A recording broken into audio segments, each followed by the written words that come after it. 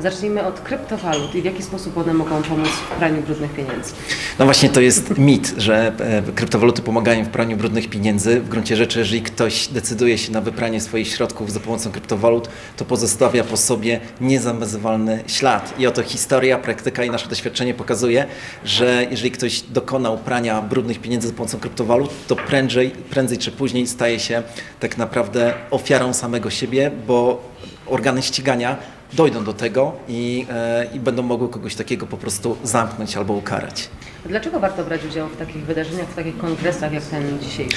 No bo tutaj ścierają się największe idee. Spotykam tutaj przedstawicieli myśli wojskowej, bankowej, kryptowalutowej, biznesowej i e, e, edukacyjnej. To właśnie tutaj możemy się wymienić naszymi poglądami i to wszystko sprawia, że powstają nowe myśli, które później mogą iść głęboko i daleko w świat.